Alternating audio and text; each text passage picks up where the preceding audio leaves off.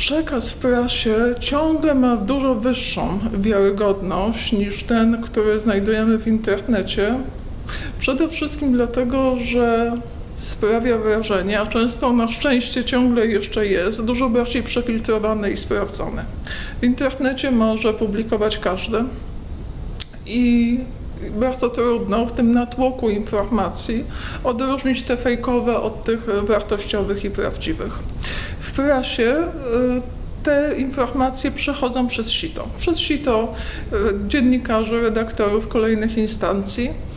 W związku z tym, jakby z założenia już są sprawdzone i dużo bardziej wiarygodne.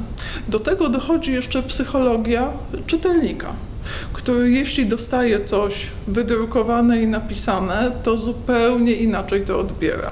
Warto się zastanowić, co tym dziennikarzom możemy zaproponować. Z jednej strony chodzi o takie skonstruowanie przekazu, żeby był atrakcyjny. Najpierw dla dziennikarza czy redaktora, ale później, finalnie dla czytelnika przede wszystkim. No bo głównie chodzi nam o to, żeby zainteresować tych ludzi, którzy potem te, te gazety czy magazyny będą czytali.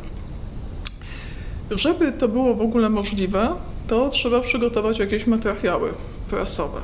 Czyli mieć dobre zdjęcia, bo prasa drukowana bez zdjęć nie funkcjonuje.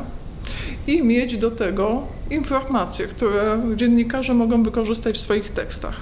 Zdecydowanie odradzam pisanie tekstów za dziennikarzy. Oni potrafią to zrobić lepiej zazwyczaj, a przede wszystkim lepiej znają specyfikę swojej gazety i swoich czytelników i ich e, oczekiwania czego nigdy nie wolno robić w relacjach z dziennikarzami.